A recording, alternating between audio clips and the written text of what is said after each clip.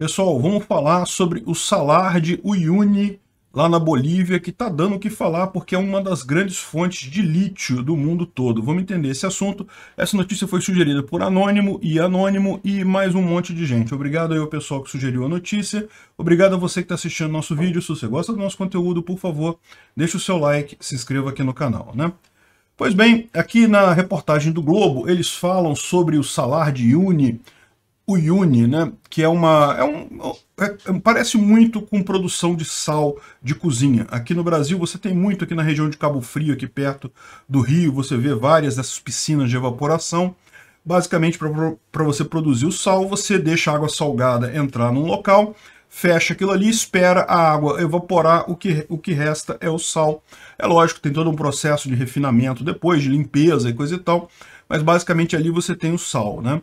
E nesse lugar da Bolívia, particularmente, você tem adicionalmente uma quantidade muito grande de lítio junto com o sal. Né? O lítio é um metal, é uma terra rara, então é um metal que é relativamente raro na crosta terrestre, não é fácil extrair, ele tem algumas outras fontes, é lógico, mas uma das principais é justamente a partir desse sal que tem nessa região e tem outros lugares do mundo também. Tá?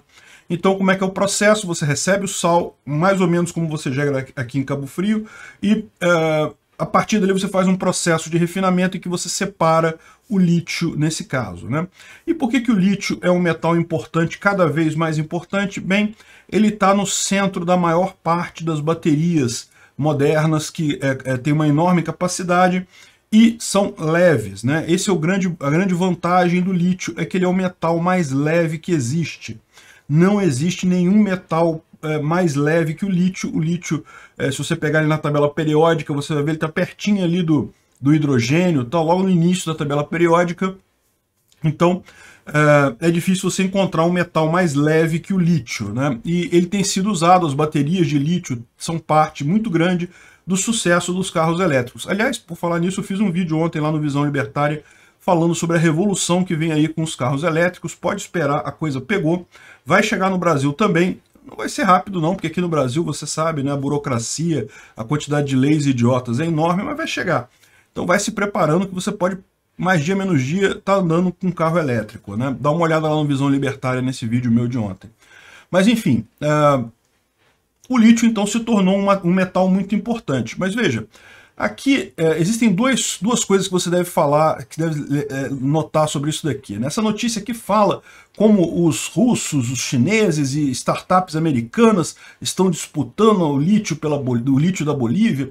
Há mais um tempo atrás, quando teve uh, o golpe lá no Evo Morales, e depois o Evo Morales conseguiu voltar através do Luiz Arce, coisa e tal, o pessoal lá na, na Bolívia acusou o Elon Musk de estar tá querendo roubar o lítio deles e coisa e tal.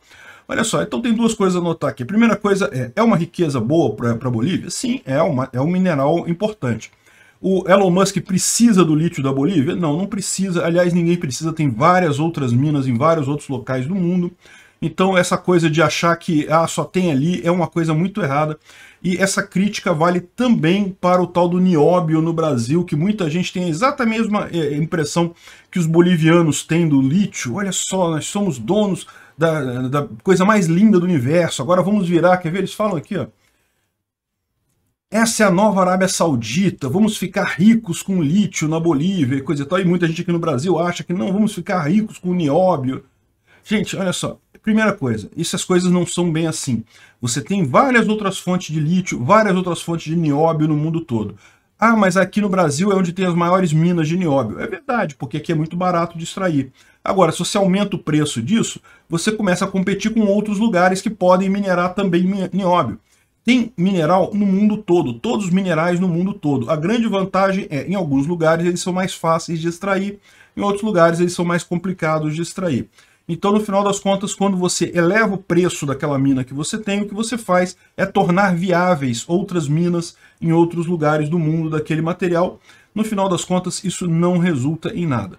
Agora, o segundo problema disso, eu acho mais fundamental da gente falar aqui, que é justamente essa, essa confusão que muita gente faz entre tesouro e riqueza.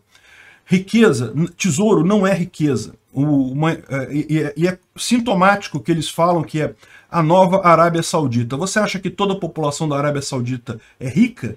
Não, ao contrário. Quem é rico na Arábia Saudita são os príncipes lá da família real saudita lá, que o, o, o governo é muito rico. E isso é o que você vê em qualquer desses países que é dominado, que é a principal fonte de renda é um tesouro, é alguma coisa que eles tiram da terra. É, isso acaba fatalmente deixando o governo muito rico e as pessoas não necessariamente. Né? É lógico, os amigos do governo, o pessoal ligado ao governo, quem trabalha para o governo, consegue também ter muita riqueza. Mas o grosso da população, não, ninguém se beneficia disso. Se o pessoal lá na Bolívia está encantado com esse negócio do salário, o, o Uni, coisa e tal, achando que vai ficar todo mundo rico, meu amigo, não vai não. O que vocês vão fazer é ter um governo cada vez mais poderoso que consegue oprimir cada vez mais a população e, ao contrário, você mesmo não vai ter dinheiro nenhum disso daí, não vai ver nada dessa, dessa riqueza do salário de Uni, que no final das contas nem é tão grande assim como eu expliquei porque não é o único lugar que tem lítio. Tem um monte de outros lugares que tem lítio também. E o, o mesmo pensamento se aplica ao tal do nióbio. Se o Brasil, ah não, o Brasil devia aumentar o valor do nióbio, ia ficar todo mundo rico no Brasil. Não, não ia. Vamos supor que conseguisse aumentar o valor do nióbio realmente. É enriquecer quem? O cara que tem a mina e o governo. E só. Mais nada. Então, no final das contas, o resto da população não iria se beneficiar desse tipo de coisa. Riqueza é outra coisa. Riqueza existe por conta de comércio.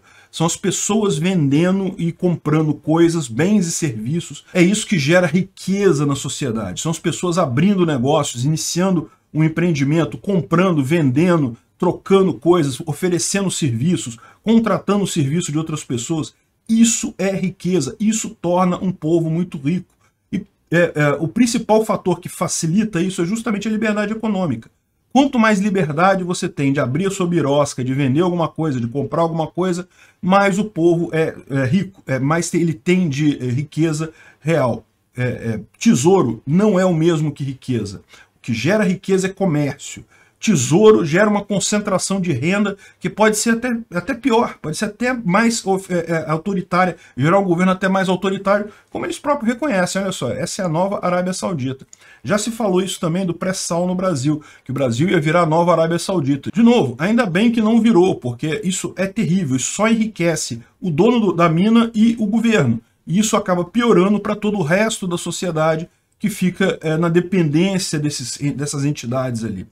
Comércio é a saída, liberdade econômica é a saída. É isso que gera riqueza de fato.